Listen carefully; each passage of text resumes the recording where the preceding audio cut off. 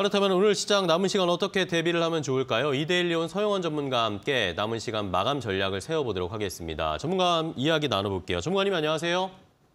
네, 안녕하세요. 네, 반갑습니다.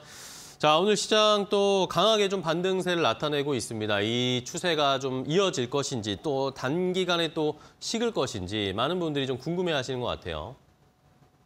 네, 맞습니다. 일단은 미국의 고용 보고서가 민간 고용 보고서는 조금 시장에 충격을 줬다 하지만 어, 금요일에 발표된 미국 고용 보고서 같은 경우에는 어, 상당히 좀 좋은 흐름들을 보이면서 우리나라 시장까지도 훈풍을 좀 불어넣는 모습이다라고 볼 수 있겠습니다. 어, 제가 지속적으로 좀 강조를 해드리고 있습니다만 시장 바닥은 좀 확인되는 모습이고 저는 뭐 추가적인 상승 여력도 충분히 있다라고 좀 판단하고 있는데요.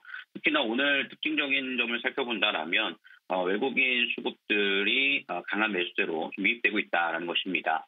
현선물 합쳐서 지금 한 8,800억 정도 어, 코스피와 선물 쪽에서 매수가 좀 유입되고 있다는 점을 볼 수 있겠고요.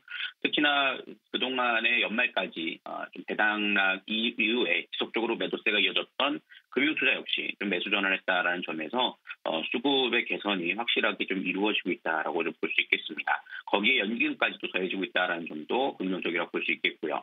특히나 뭐 추가적인 상승 여력을 좀 기대해 보는 이유는 어, 오늘 총 상위 종목들의 상승세가 어, 유독 강하다라는 것입니다.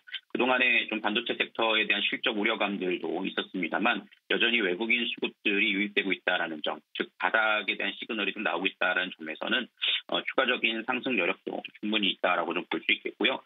특히나 삼성발 또 로봇 관련 섹터들의 투자 기대감 이런 부분들로 인해서 로봇 섹터들과 상승세도 좋아 보이고 또 다음 주부터 또 실내 마스크 해제에 대한 기대감이 상당히 좀 높아지고 있는 상황입니다.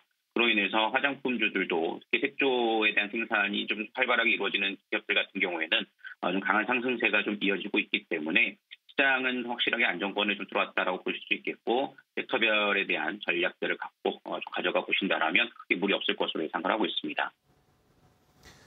네, 자 오늘 시장 일단은 좋은 흐름으로 끝까지 좀 이어갔으면 하는 바람이고요. 그렇다면 이제 이번 주에 또 체크해야 할 것들이 저희가 굉장히 많은 것 같습니다. 이벤트나 일정들 한번 정리해 볼까요?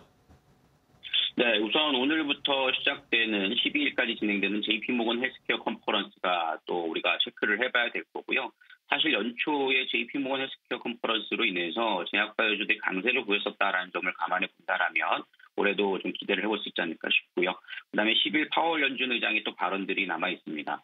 어, 물론 좀 시장에 충격도 줄 수는 있겠습니다만 지금 현재 어느 정도 악재된 부분과 매파적인 발언들을 좀 나왔기 때문에 어, 추가적인 충격이 크진 않을 것으로 예상을 하고 있고 그리고 12일에는 미국의 소비자 물가 지표인 CPI 지표가 발표되고 있다라는 점 그리고 마지막 금요일에는요 한국에서는 또 금통위가 있습니다.